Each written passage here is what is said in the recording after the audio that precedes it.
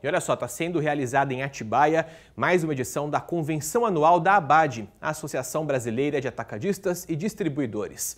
O evento, que começou ontem à noite, tem o apoio do SBT Interior. Políticos, empresários e os mais importantes agentes de distribuição participaram da abertura da convenção da ABAD. A Associação Brasileira de Atacadistas e Distribuidores promoveu a premiação para os melhores do segmento e também o debate de ideias em um verdadeiro encontro de líderes para fortalecer a eficiência e a rentabilidade dos envolvidos. É um evento que reúne o PIB do setor do país, dos atacadistas e distribuidores, do canal indireto. Nós temos aqui hoje 330 empresas ou empresários do setor que são os maiores e os melhores. Durante a cerimônia de abertura, os convidados deram um tom do que vai ser discutido nesses três dias de evento. Não só temas diretamente relativos ao setor atacadista, mas colocando a categoria como protagonista na construção de um Brasil melhor. A gente ainda tem um país que carece muito, especialmente nesse setor, né, de uh, ajustes, no, regulações no sistema tributário para favorecer o crescimento e destravar né, as, as os mecanismos para o crescimento do Brasil. Então penso que não só do lado social, mas do lado político econômico, o empresariado começa a se mostrar mais organizado.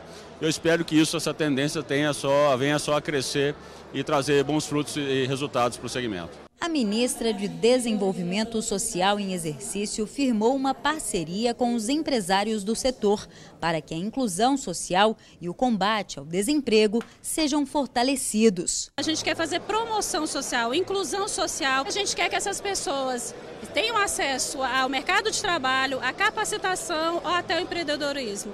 Então, é um importante momento estar aqui com esses parceiros que podem ofertar vagas, até é, custo de capacitação e oferecer emprego para a gente gerar dignidade para essas pessoas e autonomia.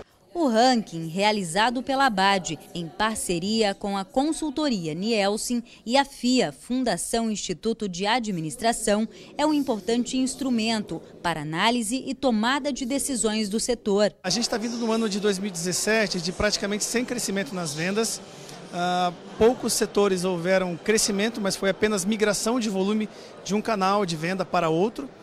E a gente enxerga esse momento aqui muita oportunidade para melhorar esses processos. O setor movimenta bilhões para a economia nacional e é responsável por gerar mais de 480 mil empregos diretos, além de atender a mais de um milhão de pontos de vendas em todo o país. Cada vez mais nós temos oportunidade de influenciar políticas é, que levem a melhoria social, a melhoria da economia do país. Então eventos como esse, em minha opinião, são eventos importantes para se organizarem as ideias, colocar as coisas numa ordem de prioridade, para se depois começar a cobrar a execução, seja por influência, seja por fazer mesmo.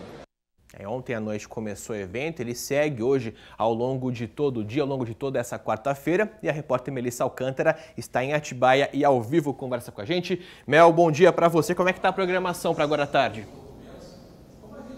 Olá, Casagrande, um bom dia a você e a todos que nos acompanham. Olha, durante todo o dia estão previstas aí uma série de palestras e debates principalmente tratando do tema de o empresariado como protagonista das ações de transformação do Brasil e melhoria das condições na política nacional. Para a categoria assumir então esse papel de protagonista é essencial nas mudanças que o país precisa. E o tema de abertura hoje do painel de abertura foi justamente esse, Casa Grande, bons empresários e bons políticos ajudando aí na construção de um Brasil novo. Quem está conduzindo esses trabalhos, esses debates, é o presidente da ABAD, Emerson Destro, e durante essas discussões, um dos empresários, ex-presidente de uma rede de lojas, Flávio Rocha, enfatizou a seguinte questão: o Brasil vem perdendo posições no ranking de competitividade internacional. Isso é preocupante para ele e precisa mudar. Por isso, então,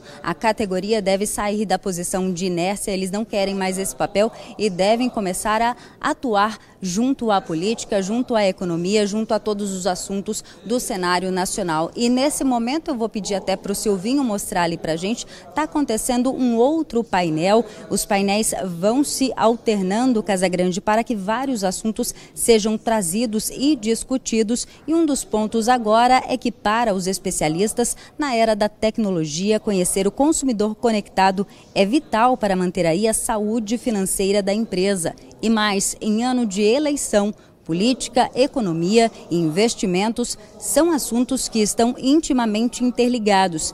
Ainda está prevista para hoje uma coletiva com a imprensa e também debates sobre tecnologia e informação. A cobertura completa da 38ª Convenção Anual da ABAD você acompanha pelo nosso portal de notícias, o sbtinterior.com, e a transmissão ao vivo você pode assistir e acompanhar tudo, está sendo feito pelo nosso Tela 2. Você você vê pela página oficial da Abad no Facebook. Casa Grande. Tá certo, Melissa. Obrigado pelas informações ao vivo aí de Atibaia.